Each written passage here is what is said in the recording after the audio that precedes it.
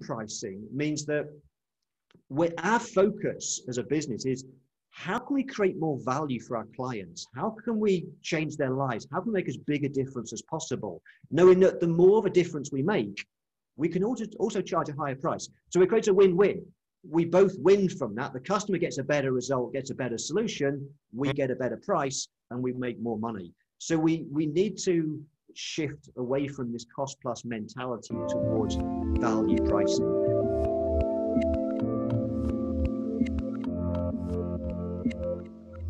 Hey everyone, this is Devin Miller here with another episode of The Inventive Journey. I'm your host, Devin Miller, the serial entrepreneur that has grown several businesses to seven and eight figure companies, as well as the founder and CEO of Miller IP Law, where we help startups and small businesses with their patents and trademarks. And today we have a guest, and I'm excited. I'm excited about all my guests, but I'm particularly excited about this guest in the sense that, so as a short background to the audience, so I, I've been on a few other podcasts, and one of the other podcasts I was on on was with uh, uh, was called Profit with Law, and it's with Moshe Amsel. I love his podcast, and one of the and he's more on the accountant side. He's kind of more on the works with the the money side and helping people to run it. But as we were talking, we got into the conversation as I was a guest on his podcast about flat fees and how you actually you know for example, when should you increase your rates? How much should you increase your rates? You know, what should you do a flat fee model? How can you make it profitable and those type of things? And so Moshe, when I was on there, mentioned uh, Mark and Mark uh, Wickersham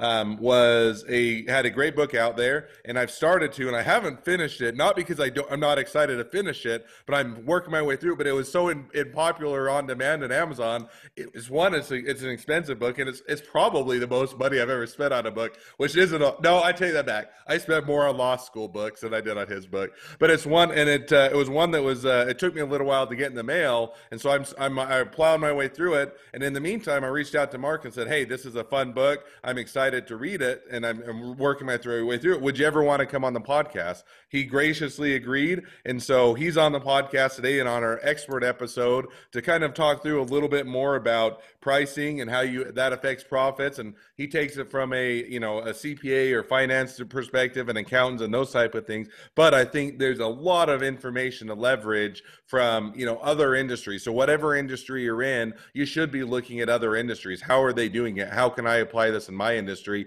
So that's the conversation I look forward to having with Mark. So with that, welcome onto the podcast, Mark. Well, thank you. Thank you for that welcome. That's, that's awesome. I'm, I'm excited to be here and share a few thoughts. So I gave you a brief, or everybody kind of a brief introduction, but maybe just uh, take a couple minutes, introduce yourself to the audience, kind of what you've done, the books you've wrote, the things that you've done, and kind of give everybody a bit of a, an idea of your experience. Yeah, of course. So, uh, as you've said, my name is Mark Wickersham. I'm an accountant, a chartered accountant from the UK, which uh, you can probably tell by the accent. And I entered the profession uh, way, way back now in 1988, qualified as a chartered accountant. And then in May 96, I started up my own business, my own accounting firm. I, I had a, a spare bedroom in the house, bought a computer, bought a desk, and then went out there to try and win clients. And surprisingly, for the first two and a half years, I grew incredibly fast. Uh, I moved into my first premises within two, two and a half months of starting. I hired people. And if you were looking at my business from the outside looking in, you might have th- thought, wow, Mark's building a successful accounting business. the hmm. reality is, those first two and a half years, I made every mistake in the book. My life was a mess two and a half years in. By the end of 1998, I, I was struggling. I, I, was growing fast, but I was growing because I was constantly going back to the bank manager with the begging bowl saying, please, sir, can I have some more more funds, another overdraft, so another loan uh, to finance this growth? Mm. And and I found by the end of '98, like a lot of small businesses, I, I was working crazy hard, crazy long hours, mm. uh, just to make ends meet. Uh, and it wasn't until end of 98 that I, I had a, a, chance encounter with someone who changed my life and changed my thinking about how you run a, a business. Uh, and that led me on an interesting journey. I then made some significant changes in my business. I first came across, it was in 1999, the concept value pricing, pricing based on value. Uh, and, and, that for me triggered something that just made so much sense. So I, I completely changed the way that I priced and, and turned the firm around to a stage where I could then sell it. And I was then asked to start speaking to other firms of accountants about how I did that. Uh, and very soon I became known as the pricing person. I wrote my first book in 2011. It was published. It was called Effective Pricing for Accountants. Mm. Uh, I've written a couple more for the accounting profession. And the one you kindly mentioned earlier, which is the last book I wrote, was this one, uh, Price the Fast Way to Change Profit, which is the first book I've written that's not exclusively for the accounting profession. And I said, it looks just like the one that I have on or on my desk. So that was amazing. So that's the one.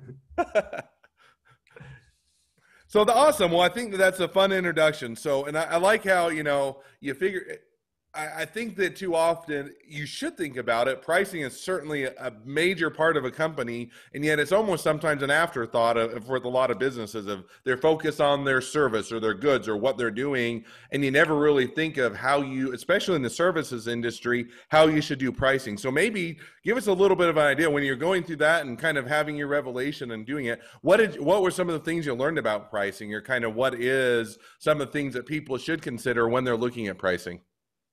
Yeah, well, I in the accounting industry, I kind of grew up in the profession believing that you had to price based on the hour, and and, and I thought naively that you had to keep timesheets, you had to log hours, and then you would bill the client based on hours. So that's what I did. I just blindly followed the the, the past, and what I learned later is that.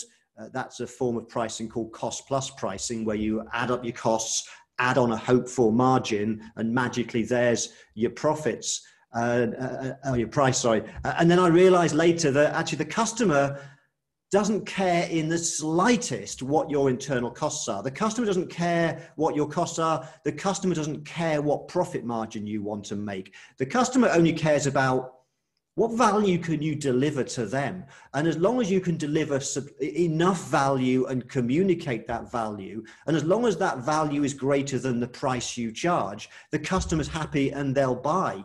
They don't care about your costs. And I didn't realize this at the time. I, I went down this route of just adding up hours and I know it's common in the, the legal profession as well. That's a particularly crazy way to price. And it's crazy for a whole host of reasons. And, and I sometimes deal with lawyers, and the thing that I hate the most is I say to them, What's it going to cost? Oh, it's $300 an hour.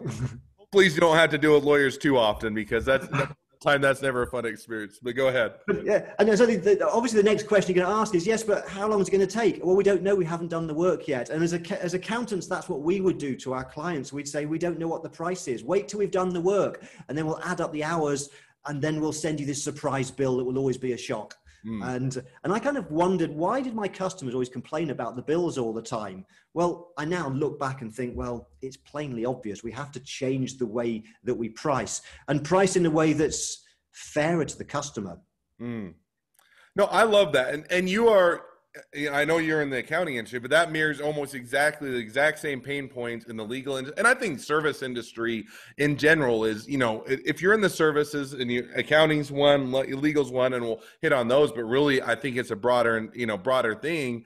Uh, if you're always saying, you know, so I'll give you from the the legal perspective is you know we le- law firms for a long time and most law firms still are there just as you mentioned we do the billable hour and we say how much is it going to take? Well I think it will take I don't know, and I'm making up 10 15 hours and then they'll say okay you know and that they then they kind of set in their mind the expectations and then you spend 20 hours because it took longer and they're unhappy and if you spend 9 hours then they're saying well that's about what I expected and you're and if you go over 10, that 10 or 15 hours, there's always a pressure to write off your time or write it down or to not build a client because you're always worried that I've got to keep that relationship and I've gone, I've spent too much time. And so it's always that struggle. And I think it's both the struggle attorneys in themselves are facing of how do I not make the client unhappy and at the same time the clients are always unhappy because they're always getting bills that they don't know what there's going to be and it's kind of like if you're to go into a car and i always think of uh, car sales if i were to go into a you know a car dealer and say i'd like to buy a car and they say and they say how much is it? Well we don't know. Why don't you buy the car and then we'll we'll tell you what the price is and then you're saying well i need to know what the price is before i no that's not how it works so that's kind of how it feels like for a lot of the industries we've set up pricing and so maybe get an insight as you were saying you know let's you mentioned value-based pricing, which I, am a believer in as well. But maybe for those that aren't familiar, what is value-based pricing, and kind of how do how do you make that shift? Yeah, well, that's a great question because and there's a lot of confusion around pricing because there are so many terms that we hear. Uh, mm. Things like percentage pricing, contingent pricing, demand based pricing, time based billing, fixed fees, flat fees, uh, and it's confusing. But actually, if we really drill it down, there's only really two ways to price. Mm. That's it, two ways. One of them is called cost plus pricing, mm. which I've mentioned, where you simply add up your costs, add on a hoped for profit margin, and magically there's your price. And as I said, that the customer has no interest in your internal costs or, or your profit margins. And, and it was demonstrated uh, over 100 years ago by the Austrian School of Economists. It's a crazy way to price because it ignores what customers want. The only other way to price is value pricing, which starts the other way. So rather than starting with costs, we start with the customer first. We look at what does the customer want? What does the customer value? Mm. And then we price based upon the value, nothing to do with costs.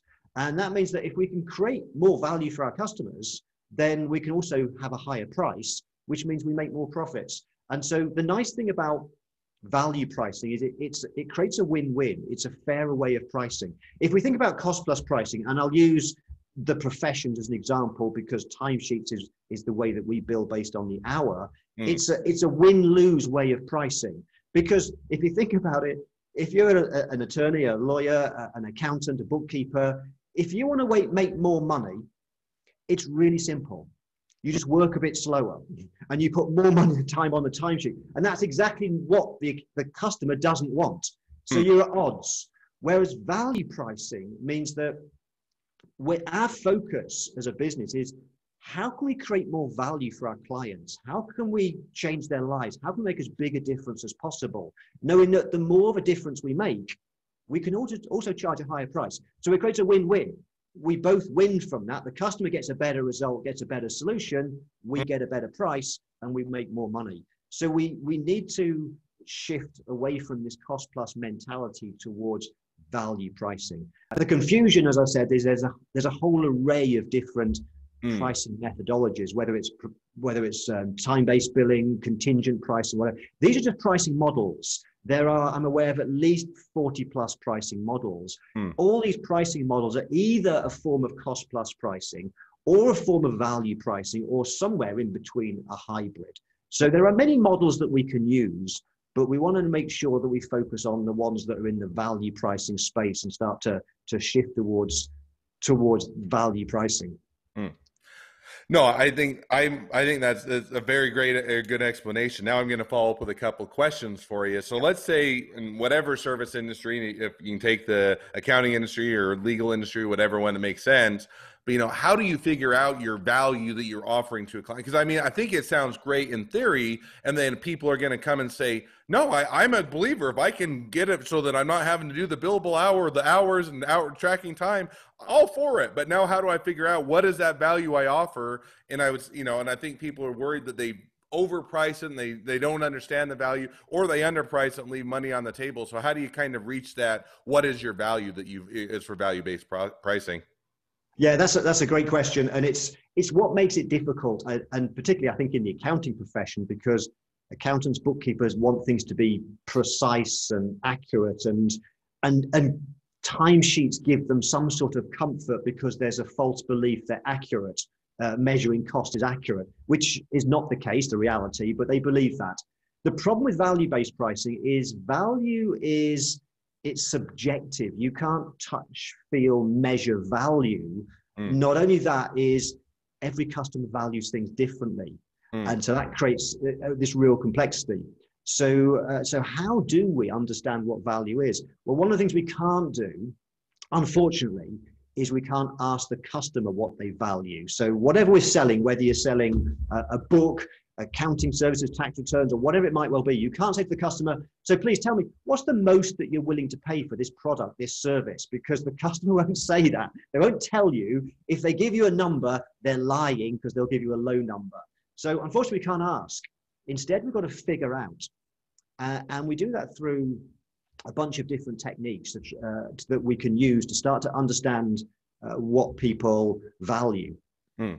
And so let me share one with you. I mean, there's many things we can do, but if I share one, which is the one that most people then start to understand because we see it in the world around us. Mm. I call it menu pricing. Mm. Uh, we have to recognize that everybody values things differently and, and everybody's an individual. So we, we want to give them choice. People love choice, they like to be able to choose. And so when we present our offering, whether it's a service, whether it's a product, we give them choices. And menu pricing is, is what I call giving people a choice of different packages, and usually three, not always, but there's a science behind three. And so you'll have heard of this or seen it because it's sometimes referred to as the bronze, silver, gold, or the good, the better, the best. Mm. Uh, and the reason why we see it increasingly around the world is because it is so powerful because of the psychology behind it, because of uh, the, the, the way people make their buying decisions. All the most profitable companies on the planet will do this. If we think about the most profitable uh, coffee shop on the planet, it's Starbucks. If you want to buy a latte from Starbucks, you get the three choices. You get the tall, which is their small one. I don't get that, but there's the tall, there's the grande, and there's the venti. Because they don't know how much a customer is willing to spend on a latte, but by giving a choice of three options, those customers that see more value, want more latte, can pay a higher price. That's exactly why Starbucks give you three choices. If you think about the most profitable company on the planet, it's Apple. If you go to their website to buy an iMac computer, you will see they've created for you three packages. There are three uh, bundles of iMacs, so you can choose the one that's right for you. And they do that because it works. And there's there's a lot of science that's going on with with menu pricing. Uh, and one of the reasons why three works, I call it the magic of three, is because what happens is when you give the client, the customer, a choice of three versions, most people choose the middle option and the reason they choose the middle option is because we learn from behavioral economics that we are we're risk averse. And so the middle one feels the safest. Mm. Because if we buy the cheapest one, we might be thinking it might not quite give us everything we want. Mm. If we go for the most expensive one, we might be thinking mm, we might be paying a bit more than we need to. The middle one feels safer. Hmm. Uh, and typically, what happens in well, typically you find about 60% of customers buy the middle one. Hmm. Interestingly, uh, interestingly, uh, what you tend to find is more people buy the most expensive than the cheapest, which goes against what many people think. Most people think my customer's going to go for the cheapest, uh, but there's a, a, reason why that doesn't happen. And I just pulled up the Apple site and I never noticed. And you're right; they have three different options for every time you look at these. So that is very interesting. Now I'm going to ask you one, but one question. So makes sense on the the product side, but let's say you take the accounting industry, which is kind of where you started to apply it. How do you do the you know good, better, best, or the bronze, silver, gold model in services industry? Because it seems like hey, it's really just it's a service. It takes me as long as it, as long as it takes, and I want you know whatever it is. There's not difference in value. So how do you take that from products, which it makes okay, we can do kind of three different models. How do you apply that now in services industry? Okay, great question. Let, let me apply it to something that most people can probably get a, a, handle on, and that's tax returns. Most people have to fill in a tax return. And when I explain this to accounting firms, they often say to me, Mark, how can you create different versions? It's a tax return. How can you do that? Well, the process you can with the right creativity. And, and so when you're creating packages, what each package is essentially a bundle. Hmm and you want to create a bundle that solves a particular customer's need or issue. So the starting point is to use what I call customer segmentation. What you do is you look at your clients, your customers, and look at the different types of people that buy.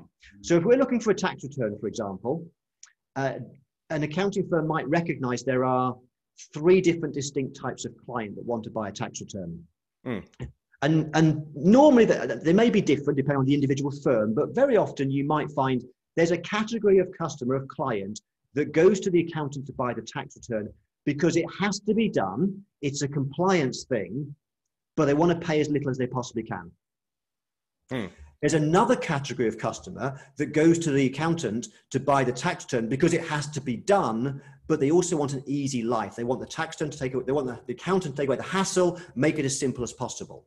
Mm. There's a third type of person that goes to the accountant because they need the tax return doing, but actually they want to pay as little tax as possible. Because they they're that they're the high net worth individual they're the they're the successful entrepreneur they want to pay as little as tax and so when we identify our different customer types we can now say okay for the first type let's build a package of tax return that just does the bare essentials the no frills so we can keep the price low hmm. let's make the middle one build in some stuff that makes it really easy for the customer. And, and we we make their life easy. We perhaps have a review meeting afterwards. We give them a checklist to help them pull together the information. We want to make it as simple and painless as possible for those people. And by the way what i found from my research is even though most accountants think everyone will go for the cheapest one most people when they see the, the value of making their life easier will go for the middle one. Mm. but then for the other package we think okay these people want tax planning. So, how can we build in some powerful tax planning solutions as part of doing the tax return? That creates so much more value, and that will suit those sorts of people who want that. And we can charge a very premium price for that package of tax return.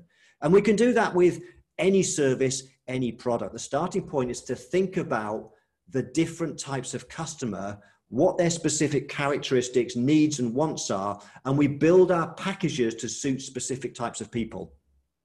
No, I love that, and I think that's an that's an awesome concept. And I like how you break it down because you know I hadn't, you know, I, I'm probably about the same way. Now I have one question, um, in you know ping ponging or going down lots of fun rabbit holes you know, so you said, you know, it's about 60% of people choose the middle option, right? About that. So now for the other 40%, do they split about the same between the lowest and the highest, or do they skew one way or the other for that other 40?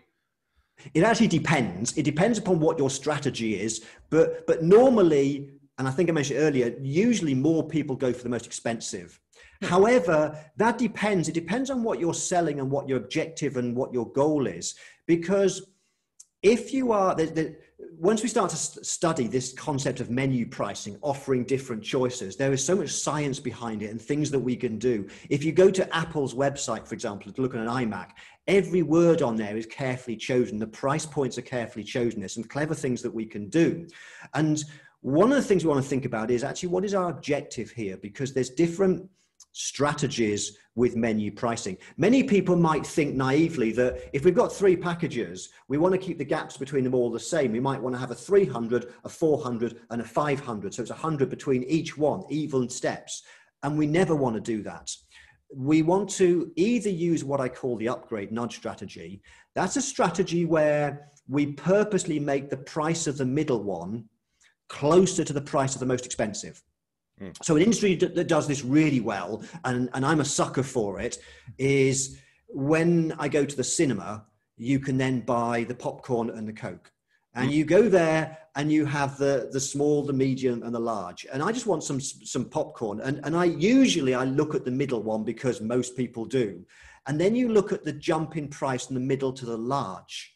Mm. And it's a relatively small jump. Hmm. And I almost always go for the large I can't eat all that and drink all that Coke, but I feel like I'm getting such a good deal. So that's the upgrade nudge strategy. We make the difference between the prices. We know most people look at the middle one, and then we have a small jump to the big one to get some more money out their pocket and hand it over. And that's a great strategy to use. Okay. However, thought about. I always do look at the middle one. And I'll say, well, if I upgrade to the large, it's it's only a little bit more, and I never look at what's the difference between the small versus the medium. So now I feel like a sucker as well. Now I'm gonna have now it's gonna bother me every time I go to the movie theater. I'm always gonna have to buy the small just so I feel like I'm sticking it to uh, but go I, I, can't do it. And, and the thing about all this, when you understand price psychology and stuff, even when you understand it or even teach it like I do, you mm. still can't defend yourself. I go to Starbucks and I buy the venti all the time, and I always end up feeling a bit sick afterwards. But I feel like I'm getting a better deal. It's, it's just crazy how this stuff works. But of course, there may be some other strategies you follow. You see, if you're selling something which is a very expensive, high end service or product that, the, that somebody's never bought before and therefore has no concept of what the value might be or what the price should be. So if an accounting firm was selling high-end consulting services, mm. then they wouldn't use the upgrade nudge strategy because the problem there is with a tax return, everybody needs to buy it. And so they've got to buy it. It's just a case of which one do they buy, and we can nudge them to the most expensive. But if somebody's not sure where to buy or not, and it's going to be expensive service, we can use the opposite reverse strategy where we make the most expensive one extremely expensive. Mm. And we reveal that one first because that creates what's called an anchor. So if you were a, a, professional selling consulting services, you might talk about your premium consulting, and that might be a hundred thousand bucks. And we know most people are going to say no to that. But when you then reveal the next one, and that's 30,000, a lot less, suddenly 30,000 in the context of 100,000 feels so much less. And you therefore make more sales. And that means going back to your question, when you said, so what proportion of people might buy the most expensive versus the cheapest? It depends what strategy you're following. Hmm. No, that that's very interesting. I love the. I, I'm a I'm probably a, a, bit of a geeky nerd myself, and so I love the psychology of how you start to set prices, how you actually you know and it, it feels you know in one sense you listen to well it feels like i'm being manipulated all the time but it's also you know almost going back to you they're providing a value and they're trying to drive you towards a value that that is best for you and so it's not that it's you're manipulating them it's just trying to present it in a way that is profitable to the company and is also beneficial to the customer because i'm sure if you overpriced everything with, and tried to say, well, my value is, I think my value is greater than everybody else. Nobody's going to go with you. One other question, and it's now kind of going to an aside. So, you know, one of the other fears that people sometimes have, whether it's justified or not, is if I go to what is you know a value base or a flat fee or something to where the price is there right? So i'm no longer doing it as an hourly basis but they can see this is how much it costs. Then it becomes a race to the bottom right? Now everybody knows it's a commodity base and now everybody knows my price and they'll just come in and say well i can charge $10 you know whatever 10% less than them and i might not make as much profit but i can live with that profit and then i'll undercut them so how do you kind of when you're getting into the getting away from the billable hour, the accounting model, and those type of things, and going to value based pricing, how do you guard against the race to the bottom? Yeah, and it's very tempting, particularly with particularly for new business, business business startup looking for customers. It's very tempting mm. to to try and compete on price. And I think back when I started my accounting firm way back in uh, 1996, for the first two or three years, let me tell you my, my pricing strategy because it was crazy, uh, but I, I, I, guess other people will be able to relate to this. So a potential client would come to me. Uh, my, my thing was tax planning. I was good at tax planning. That was my background. And so when I met a potential client to have a conversation, I would say to them something like this, let me share with you some tax ideas to help you. If you could let me have a copy of your last set of financial statements, I can tell you where I can see some tax planning ideas. Hmm. And there's there were always loads of tax planning ideas I, I could come up with. And it always really impressed them. I would deliver huge amounts of value. But at some point in the conversation, they, they would say to me, Mark, this is great, but what's it going to cost? Which is the question I hated because I had no idea at that point in time what I should price at. But hmm. this is what I did. And it was, in hindsight, it was stupid. I would, when I got the copy of the financial statements, it wasn't to look for tax planning ideas. I would flick to the back page. The back page is the itemized profit and loss account. And in there was a line that said audit and accountancy fees. And I would make a mental note of what they'd paid last year to the previous accountant. And so when they said, what's it going to cost? Magically, I came up with a number that was 10% less. And I thought I was brilliant because I was growing my accounting firm really fast. Hmm. And two and a half years into it, I nearly went bust because I realized that I, yes, if you compete on price, you can win lots of customers. But I learned two things. One that one is you cannot build a big successful business and be cheap. Uh, you can't add huge value and be the best and be cheap. The, the economics ju- don't just work out. I also learned that if you are the cheapest, you will attract a certain type of customer. And we don't want to win all customers. We want to win the right customers. Uh, and so we, I, I talk a lot about strategy and actually, most businesses don't have a strategy. They just try to undercut everybody else to be, they want to be competitive because they think that's what we need to be. But actually, if you look at business generally, if you look at successful businesses, you can be successful by being the cheapest. It's called low cost leadership. Mm. But to be successful and be the cheapest, there are so many things that have to be in place that most businesses can't achieve that. Uh, you have to be highly systemized. You have to have economies of scale. Uh, so you think about the airline industry, and in the uh, Europe, you have the two budget airlines that have been successful: EasyJet and Ryanair. They've got there's a reason why they're successful. There's many other companies trying to be low budget airlines and have gone bust, come and gone in the last 20 years. There's only ever enough space in any marketplace for one or two low cost leaders who will be successful. There's Walmart in, the, in, in that particular space. It's very difficult to do that. The only other strategy that's successful is to focus on adding massive value, being the best and being expensive. And that's where we see, other than the handful of low cost, successful low cost leadership companies, most of the successful companies in the world follow the opposite strategy. You think of Apple, extremely expensive, extremely profitable. You think of Starbucks. And the reality is, is most people think to grow their business, they need to be the cheapest. And that ain't going to work. The reality is, when you become better at creating more value, communicating value, positioning yourself as premium, you can actually attract more customers even though you're more expensive. And so it's a mistake to think if I want to grow my firm, I need to keep my prices low. If you want to grow your firm, you want to be the best, be better than everybody else, and your price should reflect that. So now, no, I'm you're preaching the choir. So I think, and I also find that very interesting. Now, one question is, how do you? Let's say I am the best. I am the world's best patent attorney because I'm, you know, patent and trademark. But I'm the world's best patent attorney, but nobody knows about it, right? So yes, I can do it better. And I say, hey, there are these huge law firms out there, and I do it so much better than they do, but nobody knows about me. And so even though I am the best, it's nobody, nobody's willing to pay me the, or pay me to be the best. So how do you start to kind of overcome that? Because you, you know, I, I completely agree and understand the model of hey, I'm either going to be a low cost provider or I'm going to portray myself as the best. I'm going to be the Apple or I'm going to be the Walmart. But how do you, if you're just starting out, the temptation is to be the low cost provider, and yet you mentioned you, uh, you know, most of the time it's very difficult unless you're highly systematized, unless you can really have a competitive advantage. Walmart does a ton to automate their systems and analytics and how you make sure that every package that you ship is priced just right. Same thing almost with Amazon and some of those others. They do a ton to systematize it, automate, automate it. And yet, if you're a startup, you can't do that. And yet, you also feel like if I price myself as big as the other firms, they'll just go with the big law firms or the big accounting firms. So, how do you balance that in the in the consumer's mind? Yeah, interesting question. It's not actually a pricing question. That's a, a marketing question. It's about positioning. Uh, and so it's about demonstrating that you are the best.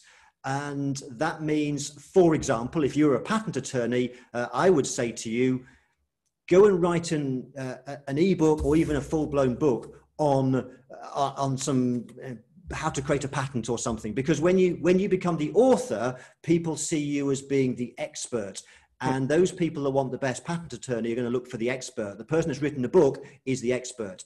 Uh, it may not be writing as your thing. It could be you know, putting some videos on YouTube giving tips and so on demonstrates that you are an expert. It, it could be running some webinars. Uh, I remember a story, and this goes back over uh, over 100 years now. There was uh, a great story about Schlitz beer and, and how they went from being something like 15th in the beer market and went to, I think, equal first. They hired a copywriter called Claude Hopkins. And at that time, all the beer companies were saying, uh, we are the purest beer. They, I think pure was the buzzword, and they're all saying they were the purest beer. What Claude Hopkins did was he turned up at, at Schlitz on the, uh, I think they're on the, the banks of Lake Michigan. Hmm. And uh, he said, show me what you do here. So they gave him a tour of the brewery and he made a note of all the things they did. And then he was taken to the boardroom to meet the directors. And they said, So what do you think? He goes, Wow, this is amazing.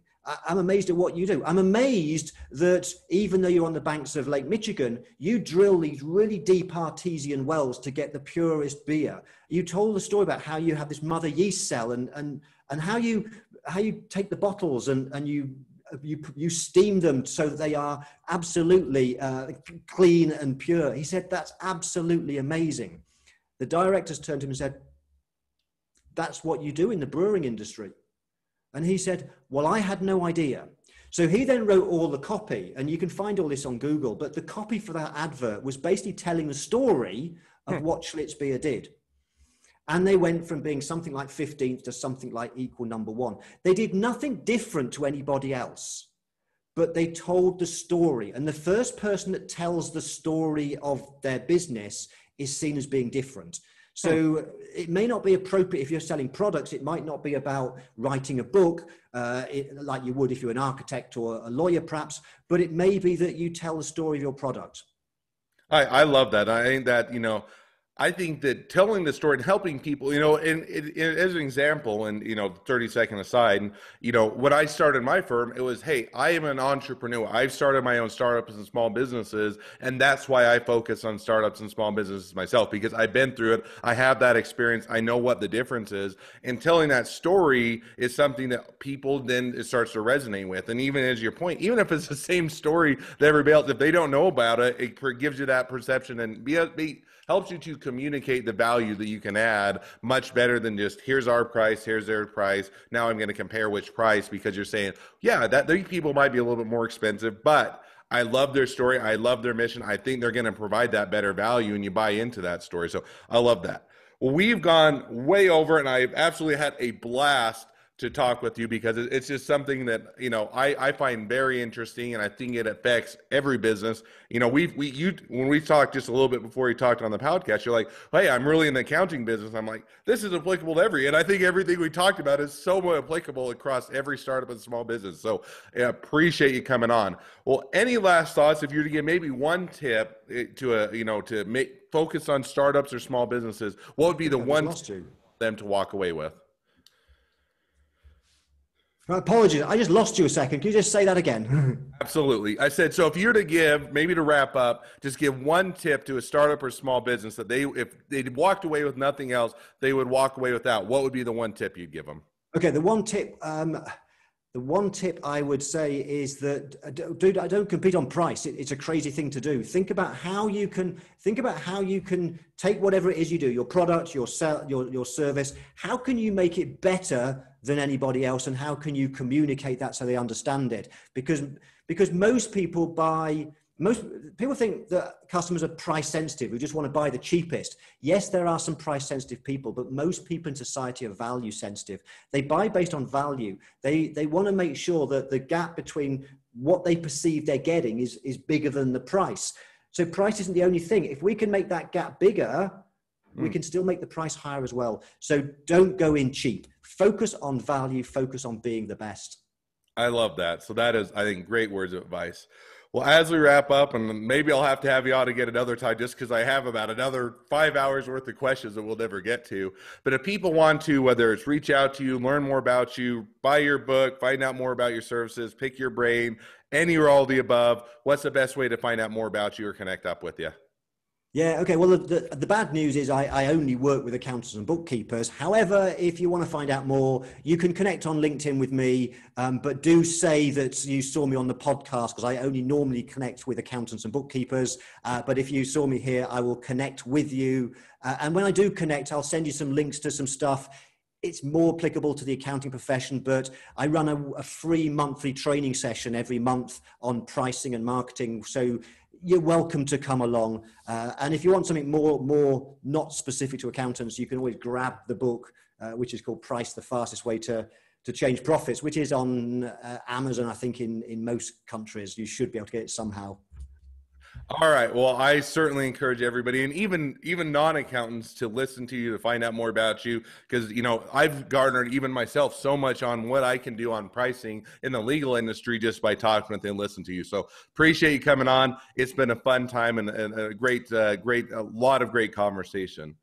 Now, for all of you that are listeners, if you want to come on and you're either an expert, you want to share your expertise, or you just have a great journey to tell, feel free to reach out to us and go to inventivejourneyguest.com. Sign up to be a, um, either an expert or just to be a somebody that would like to come on and tell your journey. We'd love to have you on. If you're a listener, make sure to click subscribe so you get notifications as all the new episodes come out. And lastly, if you never ever need any help with um, patents or trademarks, reach out to us at Miller IP Law.